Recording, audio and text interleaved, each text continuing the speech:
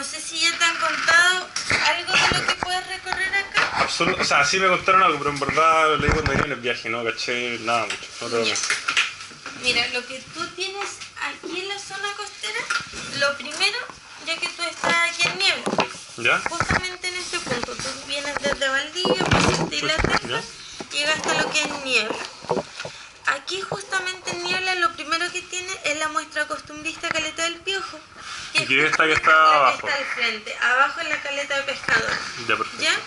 Si no, tienes la opción de seguir esta calle general, tú estás en este punto aquí en niebla. ¿Ya? Sigue la calle general, tres cuadras, una plaza a mano izquierda y al costado de atrás la entrada al fuerte de niebla. Perfecto. ¿Ya? Si no, puedes seguir derecho por la calle general, siempre donde va toda la locomoción y vas a llegar a este punto donde vas a ver un camino de ripio a mano izquierda con la bajada a la playa grande de niebla, que sería la primera playa apta para el baño. Y a mano derecha te vas a encontrar con la feria costumbrista, la Perfecto. segunda. La diferencia entre esta y la de allá es que la otra es completamente techada. Ah, ok. ¿Ya? Si no, puedes seguir y ya pasas a lo que es los molinos. ¿Ya? Los molinos se caracterizan más que nada por su playa y restaurante. En eso consiste lo que es los molinos. Ya, ok, ¿Ya? perfecto. Luego pasas a San Ignacio.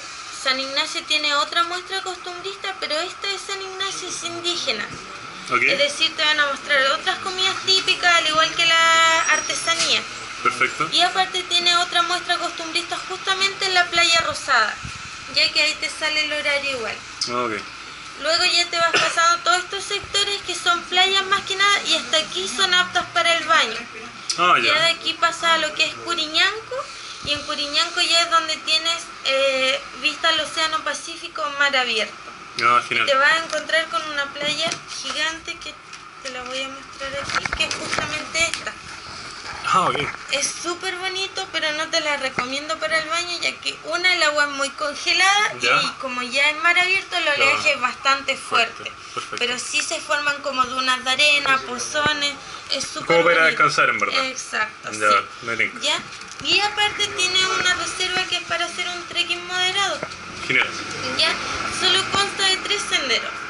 Dos de sus senderos se enfocan en lo que es la selva valdiviana, la vegetación, y el tercero es cuando tú bajas como desde lo alto hacia las roquerías del océano a la orilla y se ven inclusive las nutrias entre medio. Ah, ya. Es súper bonito por si lo quieres ir a conocer. Abre Sí, desde las ocho y media 8 de la noche.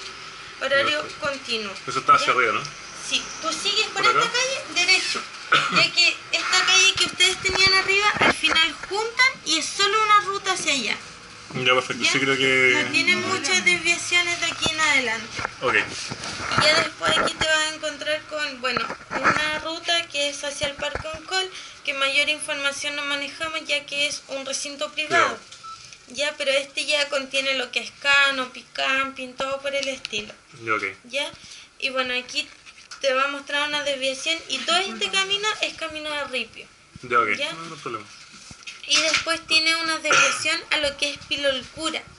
Pilolcura igual es un sector súper bonito, eh, es más que nada como para ir a descansar, y al igual que Curiñanco, ya que te vas a encontrar con una playa donde Ya. hay bastante roquerío y piedras como la postal de Antofagasta, no sé si Perfecto, es sí, sí. justamente así, pero Ya. más pequeña. Y bueno, tú al llegar a Pilolcura, si te metes al mar, ya te vas a encontrar con lo que es eh, los mariscos de aquí de la zona. Por ejemplo, justo en la playa ya tienen lo que es para sacar piures, erizos, estrellas de mar y todo justo ahí en la playa. Es súper bonito. O sea, es barato también. Sí, sí, por ejemplo, usted a Pilolcura lo que no te va a encontrar va a ser negocio de comida. Entonces sí, llévate algo para comer. Ah, perfecto, ya. ¿ya? Buen dato. Pero sí es súper bonito por si quiere ir a conocer. Y eso, ahí en Pilolcura terminaría lo que es la zona costera de aquí, de aquí de Niebla. Ya que después tiene las desviaciones y todo este camino es de ripio. ¿ya? Y después tienen la desviación hacia lo que es Punucapa, donde Punucapa es más conocido por su tema de la cerveza artesanal.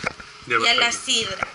Ese es lo que es Punucapa y aparte tiene igual su muestra costumbrista donde te dan a probar todo lo que es la, la cerveza artesanal.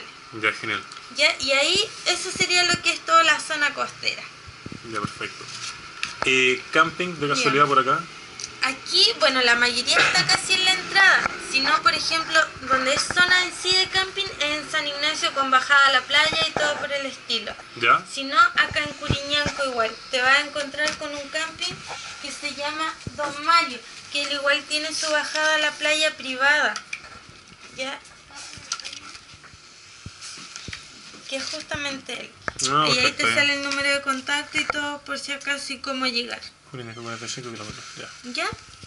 Entonces esto te lo entrego, no sé si necesitas alguna información más. No, era más que nada saber dónde estaban los campings y las fiestas costumbristas que, que estaban por allá y acá, la hora está más cerca. Sí, es siempre como siguiendo la calle general, derecho, donde va toda la locomoción. Ya, genial. ¿Ya? Cualquier duda, estamos hasta las 9 aquí. Ya, genial. Ya que te vaya bien. Te lo agradezco. Muchas gracias. Hasta chao. luego.